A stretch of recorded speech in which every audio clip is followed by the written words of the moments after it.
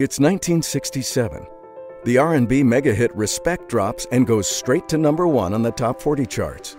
The World's Fair in Seattle had just put Washington state on the map with a Space Needle pushpin. And Boeing launches the 737, a plane that will become the best-selling aircraft in aviation history. But in an inconspicuous vineyard in eastern Washington, another historic event is unfolding. A small winery is crafting its first vinifera, or European style wine under the label Ste. Michelle Vineyards. This vintage was the quiet beginning of what would become, 50 years later, the thriving, sophisticated wine industry of the Pacific Northwest. It would also give Washington State a little of the respect referenced in the 1967 hit.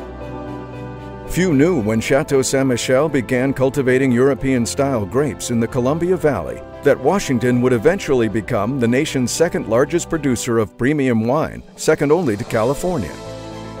But quantity is only part of the story. Quality is the main character.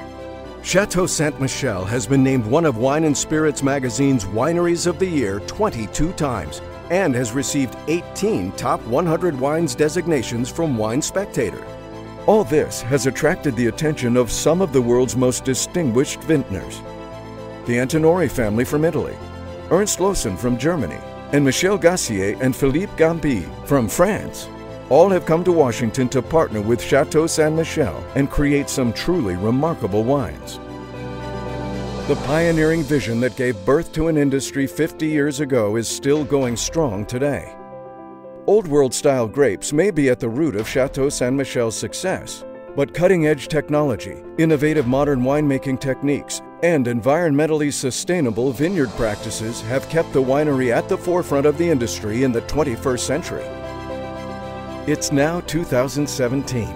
The small winery that released an unassuming Cabernet Sauvignon has, to use a winemaking term, aged well.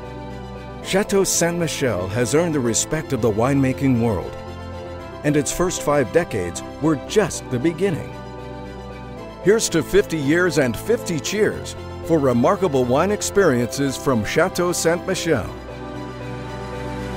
The best is yet to come.